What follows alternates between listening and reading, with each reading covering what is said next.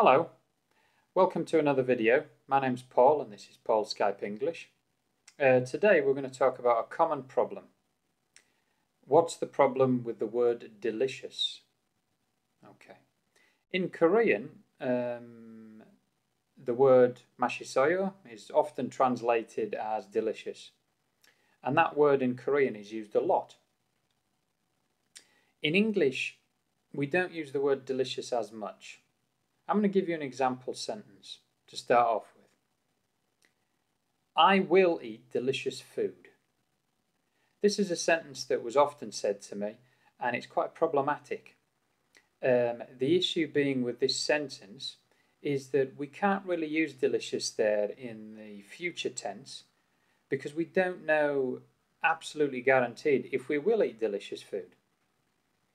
So a better sentence would be I'm going to a nice restaurant or I'm going to go to a restaurant that I've read good reviews about, but you don't know 100% if the food is delicious just simply because you haven't tried it yet. So to a native speaker that sounds slightly strange. The other issue with the word uh, delicious in English um, is just simply that the word delicious is used normally in a very, very complimentary way.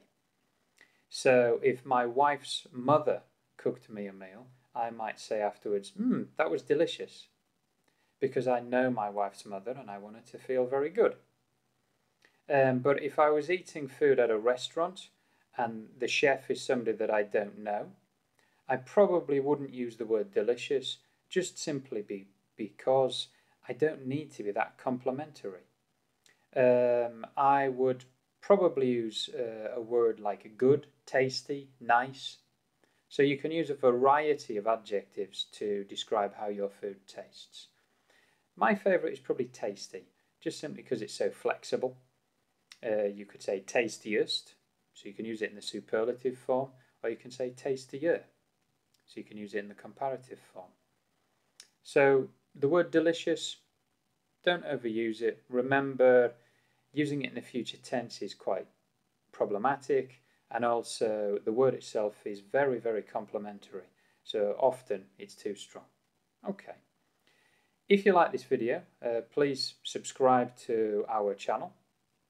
Also hit the like button. Um, and you can find us on Facebook and on Naver Blogs. Thank you.